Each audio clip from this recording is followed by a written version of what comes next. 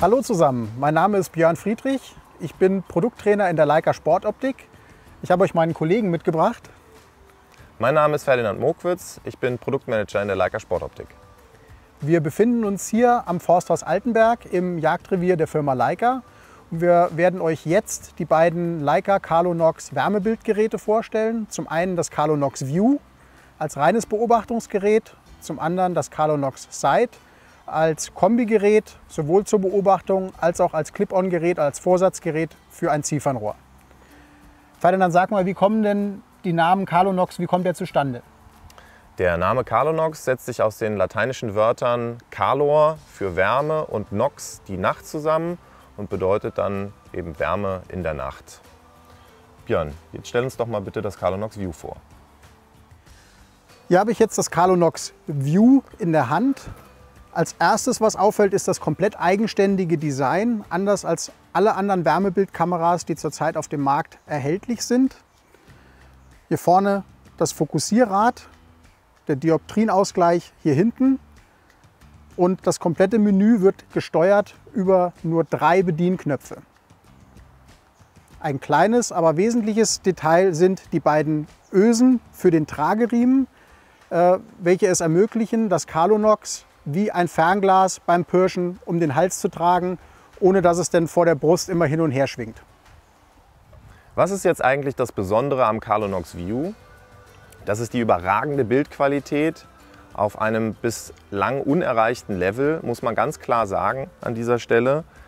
Wie kommt das zustande? Das macht zum einen der Vanadium-Oxid-Sensor mit einer Größe von 640 x 512 Pixeln bei 12 äh, Mikrometer Pixel Größe und einem sehr großen Display von 1280 x 960 Pixel. Verbunden mit der Leica Image Optimierung LIO. Das ist ein Algorithmus, bei dem Kontrast und Schärfe mehr per Software weiter verbessert werden. Und diese Kombination sorgt einfach für eine hervorragende Bildqualität und dadurch erreichen wir auch eine Erfassungsreichweite von 3000 Metern.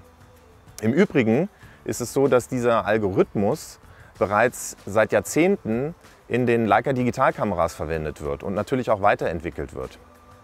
Und die Kombination aus diesem Zusammenspiel erzielt am Ende einfach eine Abbildungsleistung, die so noch nicht da gewesen ist. Kommen wir jetzt zur Bedienung vom Carlonox View. Wie ich eben angesprochen habe, bedienen wir das ganze Gerät über drei Tasten.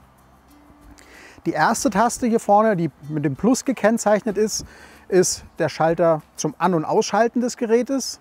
Ähm, für die Standby-Funktion, wenn ich denn im Beobachtungsmodus an sich drin bin. Für die Kalibrierung im Beobachtungsmodus und natürlich für die Menüsteuerung, um im Menüpunkt einen Punkt nach oben zu gehen. Die eigentliche Menütaste ist die kleine mittlere Taste. Äh, die ist mit zwei Menüs letztendlich hinterlegt oder mit zwei Funktionen hinterlegt. Ein kurzer Druck, ich komme ins Menü 1, was letztendlich das Hauptmenü ist, alles, wo es denn um die Bildbearbeitung, um die Bildqualität geht. Mit einem langen Druck auf die Menütaste komme ich in das Menü 2. Äh, das ist das mehr technische Menü, da wird uns der Ferdinand nachher noch was zu sagen.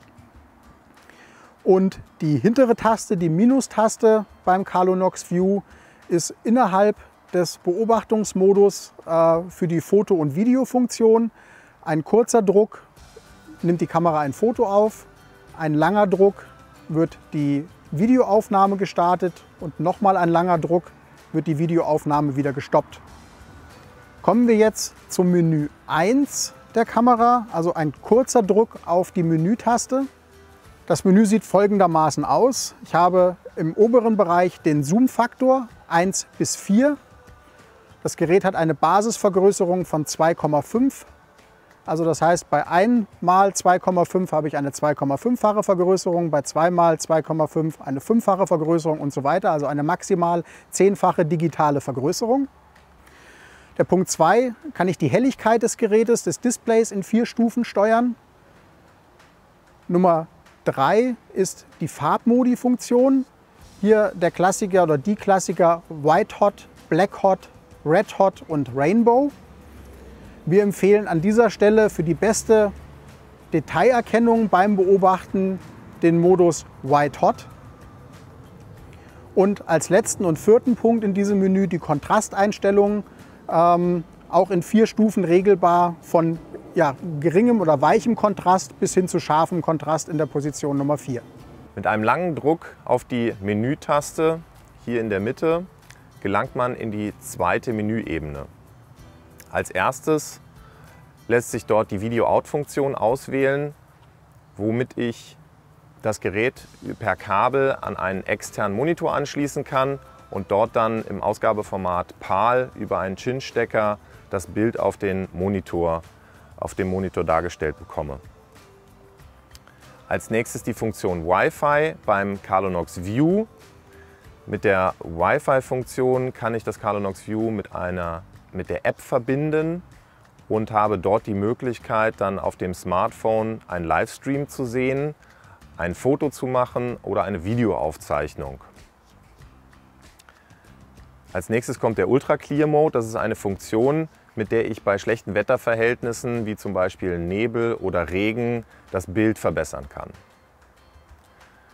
Display Kompass bedeutet, dass ich den Kompass im Startbild einblenden oder ausblenden kann.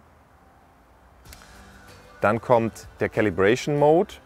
Kalibrierung bedeutet, dass ich das Bild auffrische. Die Bildqualität lässt nach einer gewissen Zeit nach. Das ist bei Wärmebildkameras ein ganz normaler Vorgang.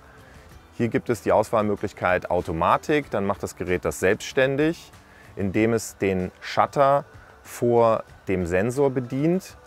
Manuell, dann wird das Ganze ausgelöst über einen Druck auf die Plus-Taste oder aber Background Calibration.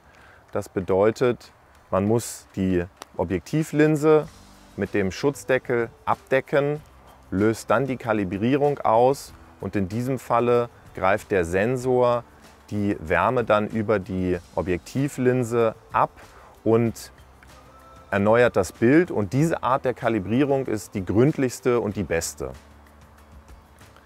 Mit dem Menüpunkt More gelangt man in die dritte Menüebene. In der dritten Menüebene kommt als erstes der Punkt Kompass Calibration. Das kennt man vom Smartphone. Hier wird der Kompass kalibriert, indem man das Gerät in der angezeigten Richtung bewegt. Punkt 2 ist die Pixels Defect Correction.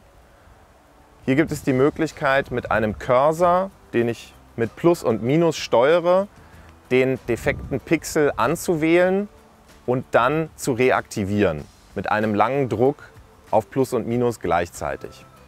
Punkt 3 ist die System Information. Hier werden Daten angezeigt wie Firmware, Seriennummer, Hardwarestand. Punkt Nummer 4 ist das Factory Reset. Hier hat man die Möglichkeit, das Gerät auf den Auslieferungszustand zurückzusetzen. Ein weiterer Punkt ist dann am Ende Return to Main Menu, wo ich in die zweite Menüebene zurückkommen kann. Wir haben euch jetzt einen Überblick über das Carlonox View gegeben und jetzt müsst ihr es einfach mal selber ausprobieren, selber Eindrücke sammeln, selber die Erfahrung machen, was für eine tolle Abbildungsleistung dieses Gerät bietet. Oder Björn? Genau. Wie unsere letzten Gäste, die wir hier hatten bei den letzten beiden Events hier äh, am Forsthaus Altenberg, die natürlich ihre eigenen Wärmebildkameras dabei hatten und haben diese mit dem Carlonox View äh, direkt vergleichen können im Revier.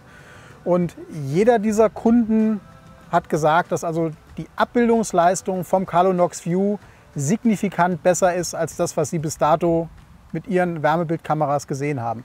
Probiert es einfach aus, ihr werdet begeistert sein.